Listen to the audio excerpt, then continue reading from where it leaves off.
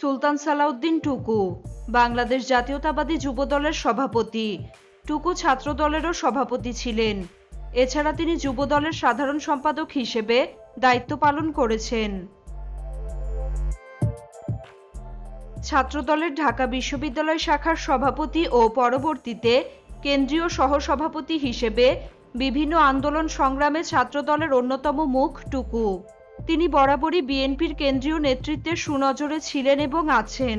সর্বশেষ জাতীয় সংসদ নির্বাচনে টাঙ্গাইল দুই আসন থেকে বিএনপির প্রার্থীও ছিলেন টুকু। একাধিক মামলার আসামি হয়ে বিভিন্ন সময় কারাগারে ছিলেন তিনি। ছয় বছর পর সম্প্রতি জাতীয়তাবাদী যুবদলের পূর্ণাঙ্গ কমিটি ঘোষণা করা হয়েছে। এতে সুলতান সালাউদ্দিন টুকুকে সভাপতি করে জাতীয়তাবাদী যুবদলের দুইশো একান্ন সদস্যের পূর্ণাঙ্গ কমিটি ঘোষণা করা হয়। বুধবার বিকেলে গণমাধ্যমে পাঠানো এক বিজ্ঞপ্তিতে বিষয়টি নিশ্চিত করা হয়েছে। বিজ্ঞপ্তিতে জানানো হয়, বিএনপির ভারপ্রাপ্ত চেয়ারম্যান তারেক রহমান ও মহাসচিব মির্জা ফখরুল ইসলাম আলমগীর কমিটির অনুমোদন দিয়েছেন। কমিটিতে জ্যেষ্ঠ সহসভাপতি পদে রাখা হয়েছে মামুন হাসানকে। তিনি যুবদলের আগের কমিটিতে সাংগঠনিক সম্পাদক ছিলেন।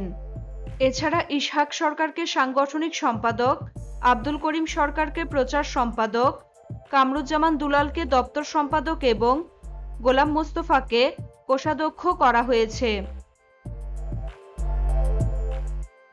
কমিটির নেতাদের নামের তালিকায় দেখা যায়, গত বছরের মে মাসে আট সদস্যের আংশিক কমিটিতে যারা ছিলেন, তারা স্বপদে বহাল আছেন।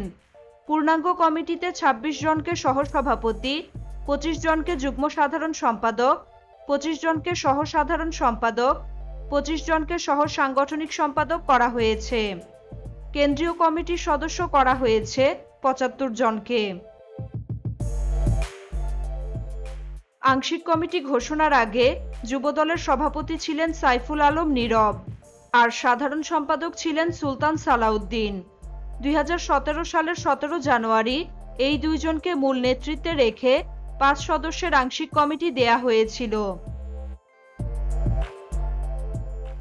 এ কমিটির মেয়াদ শেষ হওয়ার প্রায় এক মাস পর একশো চোদ্দ সদস্যের আবার আংশিক কমিটি ঘোষণা করা হয়। এরপরও পূর্ণাঙ্গ কমিটি করতে না পারায় যুবদলের কেন্দ্রীয় কমিটি ভেঙে দিয়ে দুই হাজার বাইশ সালের সাতাশ মে সুলতান সালাউদ্দিনকে সভাপতি ও আব্দুল মোনায়েমকে সাধারণ সম্পাদক করে আট সদস্যের আংশিক কমিটি দেয়া হয়। এবার সেই আংশিক কমিটি পূর্ণাঙ্গ করা হলো।